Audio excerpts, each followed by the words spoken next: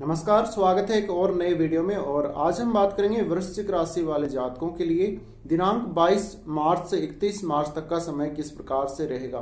तो सबसे पहले चर्चा कर लेते हैं 22 मार्च की। 22 मार्च का जो दिन है, उस दिन चंद्रमा की स्थिति आपके फोर्थ हाउस में होगी। अगर आप कोई प्रॉपर्टी से रिलेटेड काम करते हैं तो अच्छा रहेगा। अगर आप भवन निर्माण से रिलेटेड कोई काम करते हैं तो भी अच्छा रहेगा। साथ में आप अगर स्टूडेंट हैं और वो भी अगर आप स्कूल लाइफ में हैं, यानी आप कॉलेज लाइफ से पहले जो स्कूल एजुकेशन है उससे जुड़े हुए हैं तो आपके लिए काफ़ी अच्छी स्थितियाँ रहेंगी। यहाँ पर चंद्रमा के होने से आप अपनी माता जी के साथ अपना जो लगाव है उसको निरंतर बनाए रखेंगे।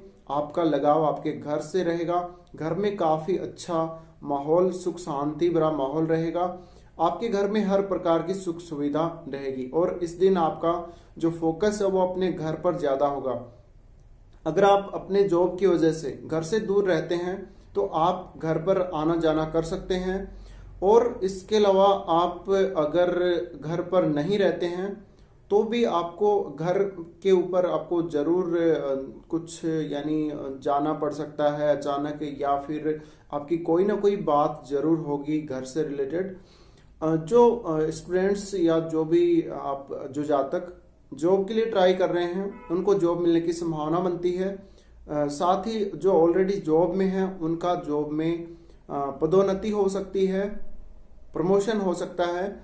और अगर आपके आपके जो बॉस हैं, उनके साथ अगर रिलेशन अच्छे नहीं तो आपके रिलेशन अब अच्छे हो सकते हैं। तो 22 तारीख का समय आपके लिए काफ़ी अच्छा रहने वाला है।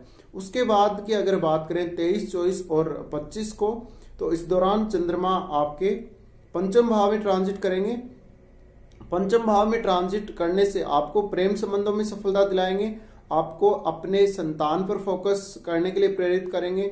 आपको अपनी एजुकेशन के साथ साथ कोई कलात्मक एक्टिविटी अगर आप करते हैं या सट्टा जुआ लॉटरी वगैरह में कहीं आप पैसे लगाते हैं तो इस दौरान आपको लाभ हो सकता है। मित्रों का आपको सहयोग रहेगा, जो स्टूडेंट्स या जो भी जातक कि कैसे भी उम्र के हों, अगर आप ऑलरेडी प्रेम संबंध में हैं तो आपको प्रेम संबंधों के लिए काफ़ी अच्छी स्थिति रहेगी। दोस्तों का सहयोग मिलेगा, आपको अपने बड़े भाई का सहयोग मिलेगा, और आपको ज़रूर इस दिन लाभ होगा धन की दृष्टि से। उसके बाद की अगर हम बात करें तो 26 और 27 मार्च को चंद्रमा की स्थिति आपके सिक्स हाउस में होगी, मेष राशि में। यहाँ पर चंद्रमा आपको थोड़ा सा स्वास्थ्य संबंधी दिक्कत दे सकते हैं। आपको व्यर्थ के वाद विवाद से बचना होगा।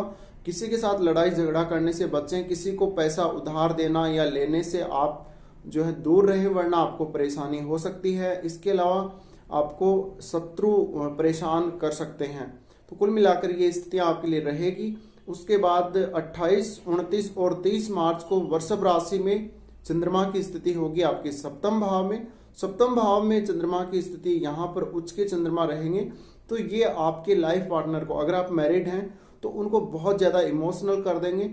आप अपने लाइफ पार्टनर के साथ आप खुद भी बहुत ज़्यादा भावुक फील करेंगे।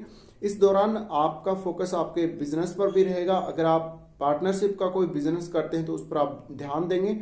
आपके जो लाइफ पार्टनर के अलावा जो बिज़नेस पार्टनर्स हैं, उनके साथ रिलेशन काफ़ी इमोशनल रह सकते हैं।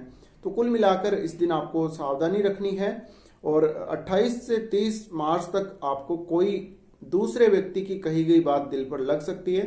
तो इस दौरान आप दिमाग से काम लें, ना कि दिल से। उसके बाद बात करते हैं 31 मार्च को। 31 मार्च को चंद्रमा की स्थिति आपके अष्टम भाव में मिथुन राशि में रहेगी। यहाँ पर ऑलरेडी राहु ट्रांजिट कर रहे हैं आपके।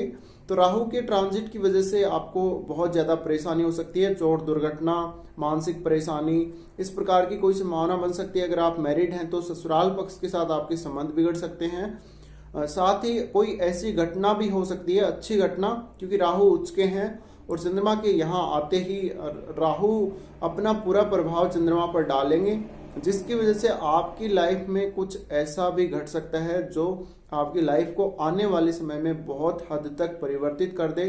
धन के मामले में अगर देखें तो ये स्थिति थोड़ी सी अच्छी नज़र नहीं आती। हालाँकि आपको विवादों की स्थिति रह सकती है, पैतृक संपत्ति और इन लॉज के साथ। तो कुल मिलाकर ये जो सप्ताह है, उसमें आपके लिए कौन सा दिन सबसे अच्छा रहेगा? आपके लिए तेईस, चौबीस और पच्चीस मार्च का जो दिन है ये तीन दिन काफ़ी अच्छे रहेंगे। उसके बाद आपको 31 मार्च को थोड़ा सा सावधान ज़्यादा रहना है। बाकी आपको 28, 29 और 30 मार्च को भी स्थितियाँ काफ़ी अच्छी रहेंगी। तो फ़िलहाल के लिए बस इस वीडियो में इतना ही। आप हमारे चैनल को सब्सक्राइब करें और बेल आइकन प्रेस करें। धन्यवाद।